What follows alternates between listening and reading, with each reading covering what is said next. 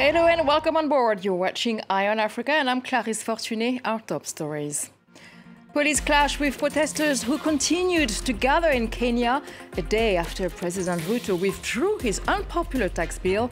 Two people were killed. After Timbuktu's jihadist police chief Al Hassan Ag Abdulaziz is found guilty of war crimes, we'll have some reactions in Mali. And Mauritania goes to the polls this weekend with concerns about the official language among the issues.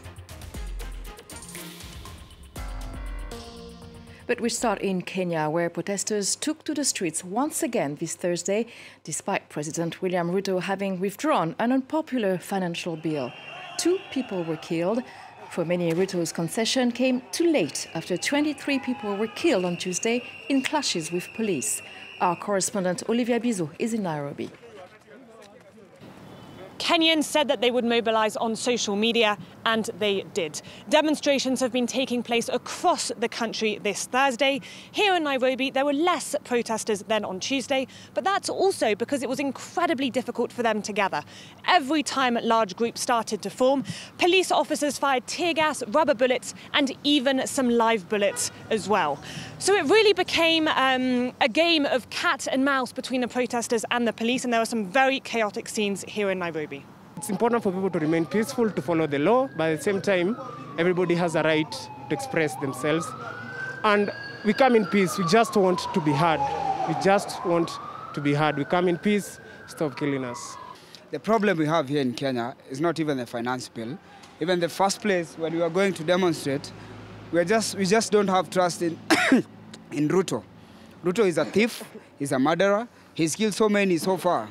Even though it was difficult for protesters to gather in large numbers here in Nairobi, they are mobilizing on social media. They're still incredibly angry at Ruto's government, even though he's now said that he will withdraw the finance bill, which initially sparked the protests. But protesters are saying that the finance bill was actually just the trigger. Now they want to go beyond that. They want Ruto to go. The problem is that they no longer trust him, and they say that's evident um, in the fact that he said that only six people were killed, for example, in the protests Tuesday, even though the Human Rights Commission has confirmed the death of at least 23 people.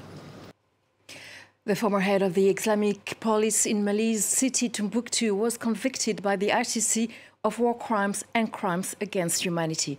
Prosecutors at the International Criminal Court said Al Hassan Abdulaziz led a reign of terror in the historic city. Clémence Valère has the story. A bit of warning you might find some of the images upsetting. Al Hassan either directly committed a number of war crimes and crimes against humanity, or that he aided and abetted. After four years of court procedures, life can resume for these Malian citizens gathered in this hotel room in Bamako. On Wednesday, the International Criminal Court convicted former Timbuktu Islamic police chief Al Hassan for war crimes and crimes against humanity. It's a feeling of relief for these peaceful people who've lived through this sad moment in their lives. The 46 year old jihadist was found guilty of committing atrocities such as torture, public floggings, and public amputations in the Malian city between 2012 and 2013 when Islamists from Ansar Din and Al Qaeda seized control. However, Al Hassan was acquitted on the war crime charges of rape, forced marriage, and sexual slavery, drawing condemnation from survivor representatives and human rights groups such as Amnesty International. The ICC conviction of Al Hassan for war crimes and crimes against humanity provides a measure of justice for victims. However, countless girls and women left tormented by conflict related sexual violence will feel severe disappointment. The three judge panel found that while rape, sexual slavery, and forced marriage did occur while Al Hassan's group controlled Timbuktu, the man couldn't be connected to those crimes. For representatives of Malian women, it's a bitter pill to swallow. At least we can see that there is a trial. There is someone present who was guilty. We must punish because everything that has been done is inhumane. Al Hassan was also acquitted of attacks on protected heritage sites. A date for his sentencing is yet to be announced, but he could face up to life in prison.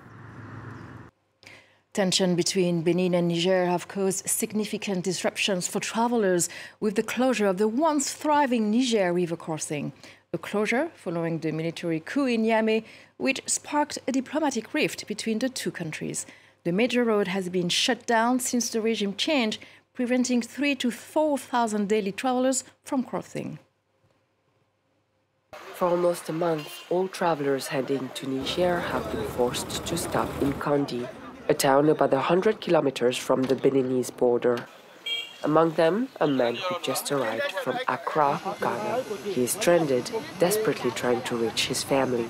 It is truly difficult. I don't know when I will be able to get home and be with my family. I don't know which way to go. I am lost. For the love of God, I wish all this would end. The recent military coup in Niamey sparked a diplomatic rift between Niger and Benin. This major road through Malanville has been shut down since the regime change, preventing three to 4,000 daily travelers from crossing. Before the closure, all these people used to come down to Malanville. Now they are all forced to go to their respective destination by other means. We'll have to make a detour, go through Nigeria and arrive in Niger. It will be a great hardship. Amina Hamidou travelled regularly to Niamey for cardiac treatment. She feels the financial burden. Returning home through Nigeria and travelling through Niger is difficult if you don't have at least 50,000 in your pocket for the trip. I pray that peace will return to our two countries so that people can come and go as they used to, because since the borders closed, things have been bad here in the north. Amidou Ndiaye, a retiree, hasn't seen his wife and three kids in Niger for six months. It's been a nightmare since the border closed. We only communicate through WhatsApp. We'll just have to wait until the border reopens. It used to take five hours to reach Niamey from the Malanville River crossing. However, with the current detours, rough roads, and Nigerian customs delays, the same trip now takes 10 hours. For now, the idea of reopening the border is on hold as talks between the two nations have hit a roadblock. Nearly 2 million people are expected to go to the polls on Saturday in Mauritania. President Mohamed Ould Ghazouani is running for second term and will face six opponents. Slavery, corruption, security are among the issues talked about during the campaign, as well as the official language. Arabic is becoming increasingly dominant in Mauritania. It's today the official language in the education system. But some say the country's linguistic diversity is now under threat. Liman Dao, Samrat Peace have more. Coucou, Rasoul, comment vas-tu? Awa Sire is speaking to her son over a video call. She sent him to Senegal to study after the Mauritanian government enforced Arabic as the main language of learning at school. In Mauritania, the government makes decisions without consulting the population. You cannot wake up one day and tell people everything has changed. This is why I looked for another solution for my son. It's really a shame. The law was adopted in August 2022. Since then, Doro, a teacher, has been fighting for other local languages like Peul, Wolof, and Soninke to be recognized. He is part of an organization also pushing for this. What we're demanding is equality. We're demanding equality between all Mauritanian languages. We only have four languages. What's difficult about making all four languages official? I should underline that these four languages were all used in the school system for 20 years, from 1979 to 1999. The government claims that the other languages have not been forgotten by this educational reform. It says they will be reintroduced in years to come. We have created an institute for the promotion of national languages. It is currently at work. From next year, it will begin experimenting with the implementation of these languages in primary schools. We think that after two years, we will effectively launch these languages in the entire national education system. So there is no need to fear anything. Some are also concerned about the future of the French language in Mauritania especially if the reform remains in place definitively. The DR Congo's new prime minister went to Goma on an official visit. Judith Suminwa met with various organizations to discuss humanitarian needs in the conflict-torn east of the country, a city surrounded by displaced people with clashes with rebels taking place nearby.